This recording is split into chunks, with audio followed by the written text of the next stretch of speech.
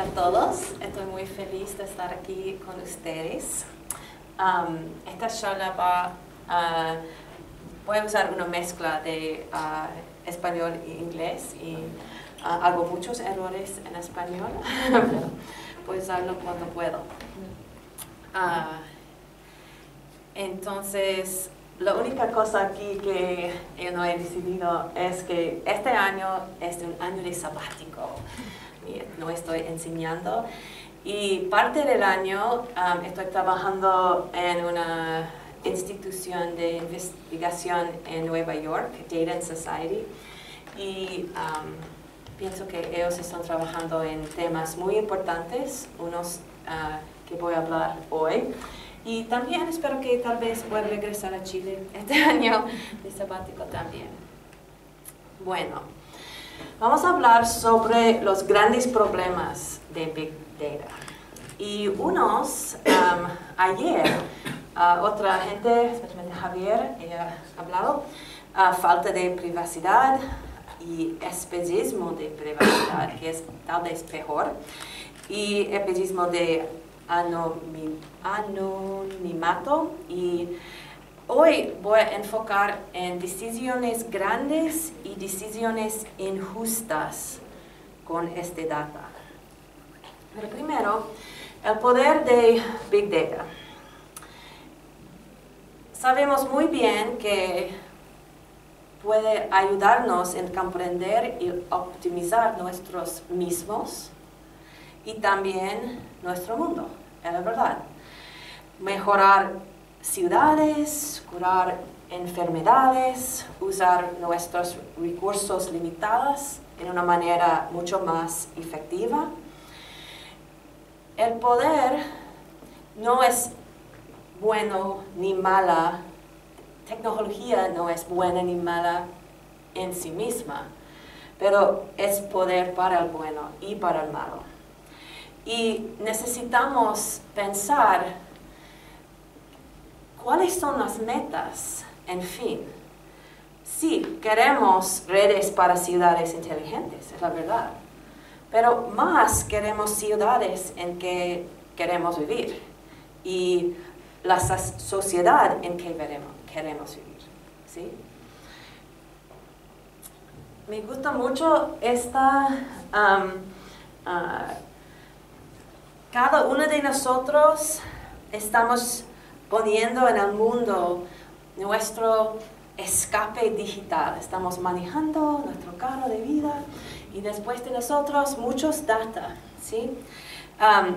una colección infinita de llamadas telefónicas, mensajes de text, historial de, de todo Ah, navegación ah, en la web, nuestra locación, uh, locación de GPS y todo esto, creo este dato sobre mí va a estar en el mundo mucho más larga que estoy en el mundo yo.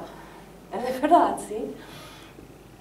Entonces, necesitamos pensar en este escape digital. Tal vez es un poquito como el escape de nuestros carros, tal vez es una contaminación del mundo. Pero eh, hay una lista grande aquí, correos electrónicos, mensajes text, todo que uh, ponemos en uh, social media, aún nuestra navegación sobre el web. Voy a hablar en inglés un, un momento. Is there really anything more like exposing of the internals of your brain than what you search for on the web, right? If you think about, if I took all of the things you ever searched for on the web and put it in a list, could you recognize it? You could, right? You'd be like, oh yeah, there was that day I was thinking about, I was like dying of this disease, and there was that time I was kind of stalking that person, and oh yeah, there was a time I went to Pucón and I was trying to figure out what I was going to do. You would totally recognize your own, right? It's, it's your hopes, your dreams. You think about like your Amazon wish list, right? All the things you're afraid of, like all of that is what we're giving digitally. that is amazing. And there's actually, Javier did a really great job of thinking about anonymization of the BIP the other day, the, the BIP cards in Santiago. But there's a real case of um, people's web browsing histories from AOL. They anonymized them, they took off the usernames, and they released them. But people could find, you know, they, they went to people and they said, is this your web history? Remember, we said, could you recognize yours? You could, right? So they said, is this your web history? And they said, yeah, that's mine. So how would you feel about that? And it, I don't think any one of us could be like, oh, that's fine, no problem. it's frightening to think like, okay, there's my entire web history, and it's in public, and some researchers called me, and they said, is this yours? And I can't take it away, I can't, you know, it's crazy, right? Um, you know, so we have all of our purchase history, like I said, our wish lists, the frequent buyer cards, you know, are really just a way of hooking together all of our activity into one piece, making us, you know, less anonymous. Um, cameras, right? There's the pictures you know you took. There's the pictures people took of you. There's the pictures you were just happened to be there and someone, you're just like, you know, the background of someone else's picture. But with facial recognition, you know, there you are, right? In the, you know, um, and also GPS tags in pictures if you don't know your pictures are being tagged with your location, there was actually, this is another real story. There was a newspaper that gave a single mom who worked for the newspaper a phone to use for a week. And she didn't realize that the, the phone was GPS tagging the photos. And she did what most moms would do, took pictures of her kids, whatever. And maybe you even know, like, I shouldn't take a picture of my kid next to, like, the address of our house or next to the name of the school but over the course of the week, she basically had scoped out the exact location of her child at all times. This is the school she goes to. This is where she goes after school. This is exactly where her bedroom is. You know? So those are things that we really have to think about. All of this, um, of this digital um, uh, exhaust that we are producing. And we're very willing to wear and carry devices with us. How often is your cell phone more? Does everyone have their cell phone? Could you touch it? Like how often is your cell phone, what's like on your end table when you're sleeping at night? Like how often is your cell phone more than like a meter away from you? Right? Y más que eso, es, uh, tenemos dispositivos como Fitbit. No son no solamente ubicación, pero también patrones de actividad, patrones de sueño. Es muy uh, privado, ¿no? En cada noche cuando despertemos, ay, ay, ay, ritmo cardíaco. Y hay cosas que pueden ser muy buenas sobre eso. Por ejemplo, tenemos más datos sobre patrones de sueño que nunca antes en la historia. Por muchos años, estudiantes pueden ganar un poquito de dinero para ser parte de investigación, para un laboratorio y dormir, y, ellos pueden ver cómo están durmiendo, durmiendo, ¿sí? Pero ahora no lo necesitamos, tenemos todo ese dato de Fitbit. Pero también es un problema. Si dos personas en el mismo lugar con alta frecuencia cardíaca, ¿sí? es, es, es, es algo privado. Y piensen esto, ¿Sería difícil hacer un software que nos permita ver esos datos nuestros mismos y no entregarlos a la nube? No sería difícil, pero no tenemos. ¿Por qué? ¿Por qué no tenemos? Porque los negocios quieren los datos. Um, hay un dicho, um, si no estás pegando, estás el producto y aún estás estos dispositivos. Somos los productos. Un otro ejemplo. Um, um, ¿Han tomado alguna vez un curso de, uh, de MOOC? Hay muchos, muy, muy buenos, ¿sí? Y es, es interesante qué tipo de datos ellos tienen que son nuevos diferente que con un curso en persona. Cuando tomas un curso en el MOOC, ellos tienen cuántas veces se hizo una prueba o intentó un ejercicio. Necesitas más um, uh, uh, veces a, tomar una prueba con otra persona. Significa que es más difícil para aprender que otra persona. Eh, eh, no sé. Um, ¿Cuánto tiempo pasaste leyendo? Siempre dice esto a mis estudiantes. Si um, antes, uh, después de un examen, yo, yo, puedo ver cuánto tiempo exactamente he pasado a cada página. es justo. Uh, no es justo si ellos no saben qué está pasando, ¿sí? Pero este contrato entre nosotros y nuestros dispositivos, nuestros um, uh, software, nuestras uh, vidas son cambiando. Y no sabemos todas las maneras en que estamos, uh, otros nos están mirando. Entonces, también hay una promesa grande experimentos dirigidos sobre la mejor manera de enseñar en una escala masiva. Ellos pueden saber ahora si es mejor eh, introducir este tema primero, otra segundo, o eh, en qué manera es mejor por la mayoría de la gente aprender este concepto. Muy bien. Pero también esta data puede ser eh, vendido a los empleadores y es justo? No sé. ¿Quién es bueno en esta tarea? Y es una, es una pregunta interesante. Si soy un participante, ellos tienen datos sobre mí, exactamente. Pero si no estoy un participante, ellos tienen tal vez datos sobre personas que son similares. Y es justo que ellos aprenden, por ejemplo, que las mujeres necesitan más tiempo de este... ¿Es, eh, ¿Es dato sobre mí o no? ¿Es justo o no? ¿Y a dónde van todos estos datos? Sí, hay uso interno en un negocio con quien tenemos una um, conexión directa. Claro. Todo, um, uh, entiendo esto. Pero también los datos son compartidos con socios de confianza. ¿Y qué exactamente es necesario para tener confianza? Normalmente es solo uh, dinero. I trust you because you paid me.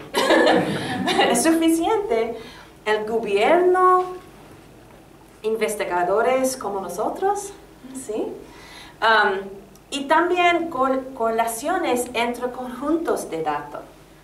Es una cosa tener esta parte de datos y es una cosa completamente diferente tener conexiones entre diferentes tipos de datos. También, como Ah, el dato sobre navegación de web de AOL Search, que he hablado antes. Um, el dato puede ser compartido anónimamente. Pero ¿es la verdad o puede ser desanonimizar, como ha dicho um, Javier ayer? Un robado por hackers, un abuso de información privilegiada Um, en un negocio. Ok. También no solo tenemos datos verdaderos. Es una cosa si los datos que ellos tienen son verdaderos. No es, no es siempre alguna cosa buena, pero eh, eh, datos verdaderos es una cosa. ¿Qué pasa con datos incorrectos? ¿Has visto alguna vez um, Data Selfie o um, Axiom, es un negocio en los Estados Unidos? Hay muchos lugares donde tienen datos y cuando he visto yo, no, son, no es correcto. Ellos piensan, algo muy extraño. ok, dato incorrecto. Um, y también, no solo dato, también predicciones. Predicciones son datos. Si haga clic que me gusta en Facebook para una página para una enfermedad, tal vez diabetes, por ejemplo, ¿significa que tengo esa enfermedad? ¿Importa? Tal vez ah, un negocio donde quiero trabajar puede pensar, ay, demasiado riesgo con esa enfermedad. O aún peor en los Estados Unidos, cuando um, los negocios pagan por um, salud. Uh, también uh, vitaminas prenatales, um, significa que estás uh, embarazada. también es un caso verdadero. Hay una chica que está embarazada y la primera vez que sus padres saben esto es cuando cupón de descuento en cada casa. Es, es, una verdadera ejemplo. Y los presiones son verdaderos. Creo en la caso de la chica es la, la verdad. Pero siempre es la verdad. Tengo diabetes, solo que haga clic en me gusta en, Facebook. No sé. ¿Y um, importa a ellos o no?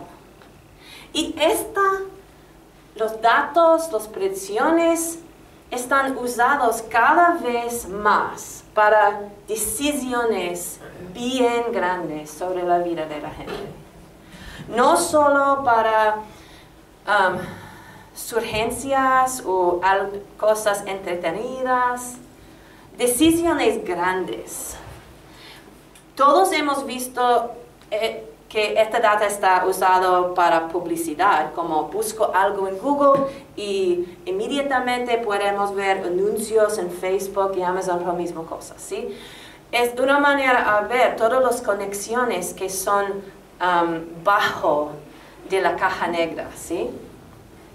Pero al mismo tiempo, e, ellos están usando esto en algoritmos de aprendizaje automático. Todos saben, en esta sala sabemos esto también. Predicciones sobre decisiones de crédito, admisiones universitarias, decisiones de viviendas, asignaciones de recursos públicos, cosas muy importantes. Y ellos pueden mirar los atributos potencialmente discriminatorios y si no pueden verlos exactamente, puedes inferirlos. En verdad, algoritmos entrenados de datos grandes son cada vez más utilizados por decisiones grandes. Y también las plataformas como Facebook, Twitter, Uber, están cambiando el mundo y la manera en que nosotros um, tener relaciones entre nosotros, completamente cambiando. ¿Cómo encontramos un trabajo? Por ejemplo, en los Estados Unidos, o creo aquí en Chile también, es ilegal poner un anuncio que dice, no queremos personas con familias eh, por este departamento es ilegal, ¿sí? Pero sí podríamos usar Facebook a solo um, enviar este anuncio a personas sin familias. ¿Es el mismo cosa o no? Creo que sí es el mismo. Um, ¿Cómo recibimos nuestras noticias? Es un problema grande. Somos en filter bubble. Somos, uh, recibimos las noticias que Facebook piensan que queremos leer y no es exactamente la verdad. Um, ¿Cómo encontramos un esposo? Es interesante, es solo uh, 10 de octubre, la primera evidencia que online dating está cambiando um, sociedad. En, este uh, caso tal vez está bien porque hay más um, ejemplos de matrimonio interracial. de, de online dating. Pero la el punto es, todos los algoritmos y plataformas son completamente, fundamentalmente cambiando nuestra sociedad. Y necesitamos pensar si es por el bueno o no. Necesitamos encontrar una manera a tener los beneficios de la tecnología sin los partes feos. Am, tal vez eh, he decidido estos ejemplos antes, am, pero voy a, voy a ah, pensar un poquito más en dónde traba- trabajas.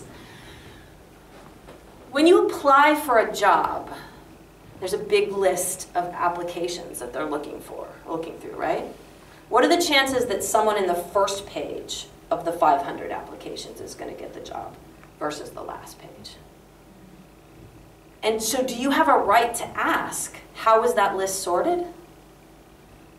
I think you ought to have a right to ask that, right? And what if you don't even get shown the ad for that job at all? They showed the ad to other people that they wanted to work there, and they didn't even show it to you. So you might think in the first case you have some right to understand. I was in the list, why was I 400 out of 500 rather than number one? But what if I didn't even hear about it? Do I still have a right to understand why I didn't hear about it? Does that make sense? I think we have a right. And also, how is your work judged once you have a job? There's some really scary examples, like in the Washington, D.C. school system. There was software that gave each teacher a number, whether they're a good teacher or not. And they fired teachers with the output of that software. Why are you, why are you firing me? Because the computer said you're a bad teacher. But why? Can, can I even ask what information you had access to when you made that decision? Or what if I want to say something like, I'd like you to X out this one student because I think that that was not a fair case. Or actually, in the case of the Washington, D.C. school districts, there was clear evidence that teachers were um, faking the results of tests. They were helping their students look better because that made them look like a better teacher. But then the next teacher who had them, it would look like they even went backwards. So it's like if you didn't cheat, you couldn't win. It's a big problem. ¿Cómo se toman estas decisiones? ¿Este número sobre si estás un buen profesor o no? ¿Cómo, ¿Cómo se toman estas decisiones? ¿Y qué derechos tenemos para entender los prejuicios construidos en estos sistemas? Tal vez por los programadores o tal vez más probable los sesgos que son aprendidos de datos históricos. Es normal usan datos históricos en construir un sistema nuevo. Sí, es normal. ¿Qué, qué más tenemos? Pero es siempre la verdad que queremos que el futuro es el mismo del pasado. Creo que no. y cuando pensamos que estamos construyendo un sistema casi perfecto. Podemos um, ah, predecir, lo- nuestras predicciones son muy buenas. Es casi un destino digital, basado en datos históricos, en datos con muchos prejuicios. No, no porque personas quieren ser muy feas, muy malas. No, no, no, no significa que, que necesita esta. Um, y si, si quieren um, leer más sobre esto, hay un libro uh, que me gusta mucho, Weapons of Math Destruction, por Kathy O'Neill. Um, I can recommend that very highly. Ok, también, cuando estamos tomando decisiones grandes y estamos usando software para hacerlo, ¿cuáles son los objetivos, las metas? ¿Y quién es el cliente? Algoritmos optimizados para la eficiencia y para reducir riesgo para el, el negocio, el gobierno que está diciendo, no es el mismo de tener protección para las personas afectadas por estas decisiones. Eso es verdad, ¿no? También plataformas que son optimizadas para publicidad. Hay protección adentro para la sociedad, para la democracia. Especialmente, y es la verdad, cuando hay actores que deliberadamente están haciendo un juego, uh, gamifying el sistema. ¿En qué manera podríamos usar el algoritmo de Facebook para nuestro beneficio? Para, uh, sí. Necesitamos examinar activamente estos algoritmos y estas plataformas en beneficio de las personas y la sociedad. Y son, no, no hacemos, vamos a tener problemas muy grandes. Y ahora tenemos, ya tenemos problemas. Me gustaría um, hablar un poquito más sobre la manera en que aprende los sistemas de los data grandes. Y tengo aquí unos ejemplos. Um, ¿Has visto en clases o algo aprendizaje automático de uh, dígitos? Es, es, un ejemplo clásico. Um, ¿Puede el sistema um, ver cuando estoy poniendo un número 1, un 2 un 3? Y si, y si preguntas, ¿cómo puede uh, ¿Cómo está el sistema haciéndolo? Hay muchos um, tipos de machine learning. There are many types of machine learning can't really tell you how they learned it. Some can, like you can get decision trees, those are really good for exporting a human understandable thing. But like neural nets, not so good at that. You ask, how did you learn that? And they're like, I don't know. but I'm good at it, right? So it's okay. As long as I'm good at it, don't worry your pretty little head about it. I'm better at it than you. Okay, so maybe for digits, okay, this is the explanation of how the system learned those digits. Like, as a person, you might think like ones are really vertical and, you know, eights are really curvy or something like that. But no, this is the explanation does that look particularly explainable to you? Do you understand how it's doing? Like, no, I don't understand that. Here's another example, and this is pretty much an example of bad training data. But actually that's a big point I'm trying to make in this talk, is that it's not just about bad lines of code, it's about bad training data. So in this study, what they did is they took pictures of wolves and dogs, and as we always do, they labeled some of them wolves and dogs, they trained the system on that, and then they used the system to identify wolves and dogs in pictures they hadn't seen, and the system was really good at it. Does that sound good? Sounds good, right? So in this case, they said, show me an explanation of how you made that decision. So here's an image of a wolf, and it highlighted the pixels that it used to make the decision. How did it make the decision? It made the decision whether there was snow. Hay nieve. Okay, so if there's snow, you're a wolf, and if there's no snow, you're a dog. Does that sound like it might work? I mean, maybe, because maybe wolves more often live in the snow. But this is what I like to say in these talks or to my students, is that you are going to be a dog in the snow. You're going to be sitting in some snow, and it's just a coincidence, it's around you, it's correlation, it's not causation, and you're going to say, I'm just as much a dog, even though I'm in the snow. And the question is, will anyone, will you even, the question is not whether you will be a dog in the snow. You will be. The question is, will you know you are? Because tons of decisions are being made about you incorrectly and you don't even know it. That's one. And two, if you happen to find out about it and you say, I am not a wolf, will anyone care? Who will you complain to? Will they investigate in any way? Or will they basically say, you know, this machine learning algorithm thing is working fine for us. I don't care if it's not working for you. I'm sorry. That's just the cost of civilization these days. And I want you to, to think about some examples of learning on our digital exhaust. So this is learning about digits, this is learning about wolves and dogs. What about learning about our digital exhaust? Here's a real example. Credit card starting, if you charge, if people charge for marriage counseling, there was a credit card that would up their interest rate and lower their credit line. Does that seem, you know, like there's an impending potential financial disaster here? This family's going to split up, so we don't want you having our money when that happens. You know, so that's an example. Or like I said, what about a, a random Facebook like?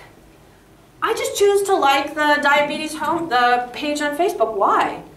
I think they do good work. I, I know someone who has diabetes. Maybe I have it. Who cares? I just liked it. But you suddenly use that to infer that I have diabetes or I'm a bad risk or something like that? Is that fair? What if I paid for someone else's marriage counseling just to be nice? Right? I then, my friend has been complaining about their husband forever, and I said, You need to go to some counseling, and I took her and paid for it. How do you know, right? When do we get to say, I am a wolf, I'm a dog, not a wolf? I don't care if there's snow here. Um, here's another real example. It, um, there, it wasn't in the US, but there's countries in which if your cell phone is near the site of a mass demonstration, a political march or demonstration, it'll pop up and says, you've been registered as a participant in a mass demonstration. Maybe I was just walking by, or maybe I was there demonstrating, but I don't think you should know that. Right? We are really up against a world in which we cannot predict the cost of our actions. Can I like that Facebook page? What could happen? Can I, can I charge that purchase or not? What if I go to the city and am registered in a mass demonstration? What if I, I'm a friend of someone on LinkedIn or Facebook or whatever? That's, is that the world you we want to live in? I don't think so. Um, actually, yeah. Our, La incapacidad para predecir el costo de una acción conduce a un efecto de enfriamiento en el discurso civil. Si no, e, esto también es un, uh, un ejemplo um, verdadero de, de, la semana pasada. Um, Loreto Bravo, ¿alguien uh, conoce a Roberto Bravo en Santiago? Que es uh, cargo de la... Um, institución de um, Data Science en UDD en, Santiago. En, uh, ella está usando Data Selfie y solo porque ha leído muchos artículos sobre uh, un particular um, uh, tema, ellos dicen que ella, um, she's in support of a particular political group. And she was just reading about it. That's scary. I think one of the best things we can do for civil society is if I completely disagree with you, I should still listen to what you have to say. I should still read what you wrote. I should think about it. And maybe after reading about it, I still think I don't agree with you. But if I feel like I can't even listen without going down on the record, that's a, a scare world. And this basically shows like, uh, so a very sensitive topic like government surveillance. Okay, that might be something you might be like nervous to talk about. This is like, would you be nervous to talk about it with your family at dinner, very at work, or on social media? For example, you talk about very unwilling to talk about it, 13% at a family dinner. Very unwilling to talk about it on Twitter, 40%. Just a specific example of the chilling effect on our civil discourse. And it's going to get worse and worse. Otro problema es algoritmos propietarios. Algoritmos propietarios son utilizados en decisiones públicas. Por ejemplo, en los Estados Unidos hay, un, hay una software Compass que ahora está utilizado para asignar un número a la probabilidad de una persona de cometer otro delito. Y en un caso verdadero, hay una, una, una persona, un hombre, Loomis, en el estado de Wisconsin. Y este software Compass fue utilizado en la decisión a enviarlo um, al cárcel. Y su equipo de defensa ha decidido, queremos ver cómo este número, how it was computed, how the number was computed. Y um, el estado de Wisconsin dice, no tiene este derecho. ¿Por qué? Porque proteger la propiedad intelectual de la empresa es más importante que los derechos de la gente um, como Loomis. Sí, tal vez eh, eh, es, es una, es una cosa importante. Hay diferentes tipos de decisiones. Creo tengo más derecho a entender cómo um, las decisiones públicas son tomadas. Si hay una decisión a enviarme a cárcel, o um, decisiones sobre trabajo, casas, o crédito, o Ah, pero estos algoritmos pro- propietarios son usados ahora en esta manera. ¿Y qué, qué podemos hacer? Creo, por decisiones públicas como estas, sería mucho mejor tener código abierto. Pero no es suficiente y es muy importante entenderlo. Es posible decir, este código todo abierto y ver, no hay ninguna línea de código que dice algo feo como vamos a enviar a la cárcel gente de esta ah, raza o algo de aquí. No, no, no, no hay este problema. Pero si usamos datos históricos con prejuicios y sesgos adentro, es el mismo cosa. Y también, no sé si es el caso con Compass, pero en muchos sistemas las reglas son siempre cambiando en real time sobre datos nuevos. Y también es un problema. ¿En qué manera podríamos ver de una manera abierta todo el dato con privacidad? ¿Y cómo podemos entender las maneras en que el sistema está cambiando cada minuto? Es difícil. Otro ejemplo, um, ah, un sistema entrenado en textos de calidad más o menos bien. Noticias en Google News no es texto feo, es texto normal, Um, pero también muestran estereotipos fuertes. Por ejemplo, si usa um, texto en Google News para um, entrenar un sistema, um, puede usarlo por um, ah, ah, comparar palabras como man is to woman as king is to queen. You're like, oh, good system, you learned. And then you say, man is to computer programmer as woman is to homemaker. En- y también es un caso verdadero, no es, no es algo de ciencia ficción. Y estos siste- es- este dato está u- ah, ah, utilizado por muchas cosas, la búsqueda web, ordenación de currículos para trabajos. Tal vez es una razón que mi currículo puede ser más bajo en la lista de todos los currículos. Y um, soy una programadora muy bien. menos, ah, I'm, I'm not as good a homemaker. Um, entonces, estas decisiones son decisiones sin prejuicios tomadas por computadora. Y esto es la manera en que están, um, this is the way they're described, the way they're advertised. If I say I built you a completely logical system, I'm going to make the decision with the computer. No more of those biased people. And it's still really biased, it's almost worse. We know that people make biased decisions. I'm not saying it's worse than people. But people at least change and evolve over time, that's one. And two, like you can say in a court of law, you can you know cross-examine a person, you know, um, and we know that people are biased, so we're on guard. If someone tells you, "Don't worry, we've taken all the bias out. It's just logical, pure computer stuff," but still, it's affecting your life in a really bad way or making us elect presidents that are horrible, or, or you know, like pulling us in little filter bubbles, or creating a society that's ugly. We need to understand that.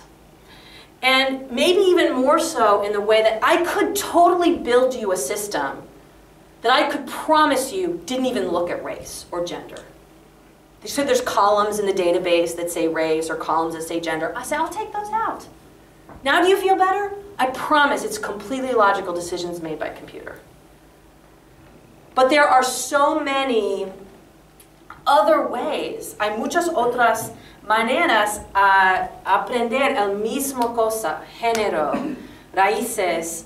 There's proxies. Por ejemplo, um, uh, su dirección en muchas ciudades um, donde vives es casi el mismo de raíz. ¿Sí? O también las cosas que compró es el mismo de género. Um, estos, por ejemplo, es una lista de cosas que son proxies for race. Zip code, ancestry, disease predisposition, linguistic characteristics, last name, criminal records, socioeconomic status.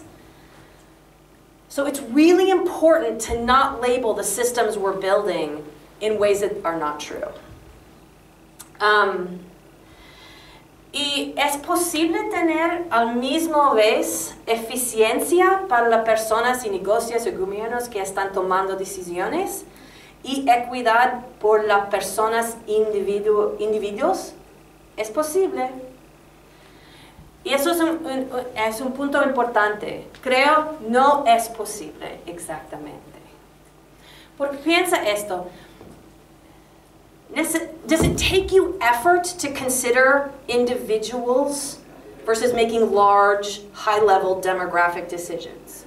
Is it easier to make large, high-level demographic decisions? It's easier, right? If I say to you, no, you can't do that, you have to consider individuals, is that efficient? Does that cost you something? It does. So we fundamentally have to decide.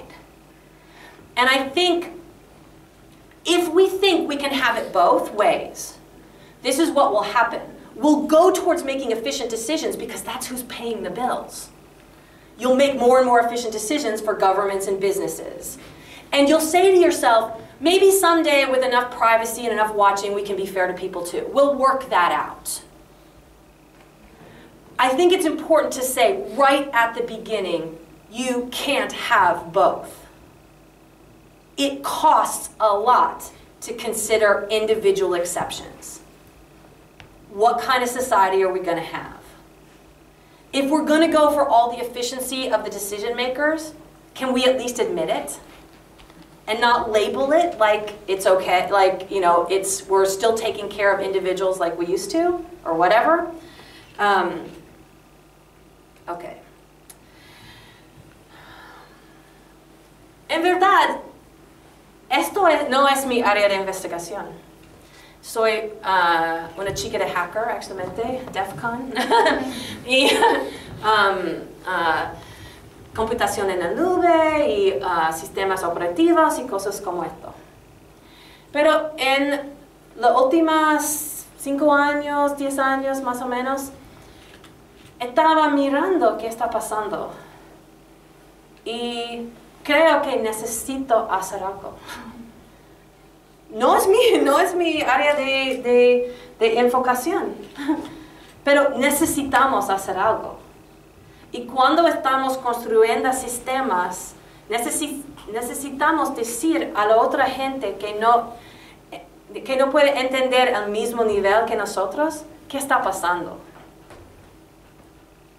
Y um, estoy parte de una subcommittee de, de ACM sobre algoritmo, transparencia de algoritmos y um, rendición de cuentas, responsabilidad de algoritmos, eso. Y um, escribimos una, un, documento corto, siete uh, principios. En inglés los principios son awareness, access and redress, accountability, explanation, data provenance, because a lot of times the problem comes from the data, auditability, validation, and testing. Y si, si quieres, um, Fran um, uh, he uh, traducido estos a español. Um, principios para la transparencia y la rendición de cuentas algorítmicas. Conciencia, acceso y reparación, responsabilidad, explicación, procedencia de datos, auditabilidad, validación y prueba. Y si quieren tener eso, con mucho gusto también los slides, um, porque creo es, es, una, es un, tema muy, un tema muy importante. Si queremos un mundo en que queremos vivir, no podemos pensar solo en eficiencia, no solo en inteligencia, necesitamos pensar en, individuos, necesitamos um, luchar para tener los beneficios grandes de data grande y todo eso sin los problemas. Y it won't happen automatically. We're going to have to fight for it. Um, nuestros datos, los algoritmos, las plataformas, no son usados solo por surgencias, por, uh, no son solo sugestivo y entretenido, no solo usado en optimizaciones anónimos de alto nivel. Cada persona tiene parte de, este um, problema. Cada vez estos datos, algoritmos y plataformas son utilizados para grandes decisiones sobre nuestras vidas. Y fundamentalmente están cambiando nuestra sociedad. Para construir el mundo que queremos, necesitamos estos algoritmos y plataformas para ser responsables y transparentes. Y podríamos usar el documento corto con los principios para un ejemplo en nuestros negocios, en los sistemas, para decir a otra gente en nuestro equipo, vamos a pensar en estos principios. No solo en la mágica que podemos hacer con las prisiones que eh, es importante y muchísimas gracias por, ah, por pensar en este tema hoy conmigo.